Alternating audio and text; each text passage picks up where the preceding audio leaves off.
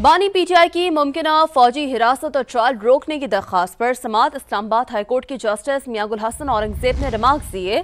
अगर बयान किसी अफसर की तरफ़ से आए तो वो संजीदा हैं। एडिशनल अटॉर्नी जनरल ने मौकफ अपनाया कि वजारत दिफा के पास आज के दिन तक फौजी हिरासत और ट्रायल की कोई इतला नहीं है। बात करते हैं कमरुल मुनवर ने हमें ज्वाइन किया है। जी, कमरुल मुनवर बताइए, क्या रिमार्क्स दिए गए?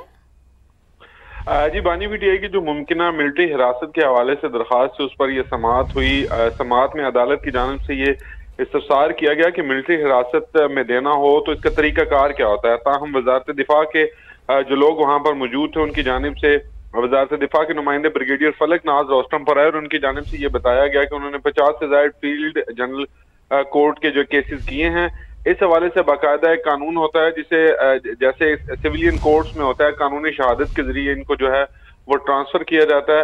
ताहम अदालत की जानब से ये कहा गया था कि मिलिट्री कोर्ट में ट्रायल से मुतलिक वाजह जवाब जो है वो नहीं दिया जा रहा, ना वजारत दिफा की जानब से, ना हुकूमती जो एडिशनल जो हैं उनकी जानब से किसी भी किस्म की कोई वाजह चीज़ नहीं बताई जा रही जिस पर अदालत ने यह कहा कि अगर तो मिलिट्री ट्रायल से पहले बानी पीटीआई को नोटिस दिया जाता है तो हम इस केस को निपटा देंगे लेकिन अगर आप नोटिस के बगैर ऐसा करते हैं तो ये आसमानी बिजली गिरने के बराबर होगा। तमाम केस की समाज जो है वो अगले मंगल तक मुलतवी कर दी और हुकूमत से वाजह जवाब जो है वो मांग लिया गया है। ठीक है बहुत शुक्रिया कमर बनवर आपने आगाह किया।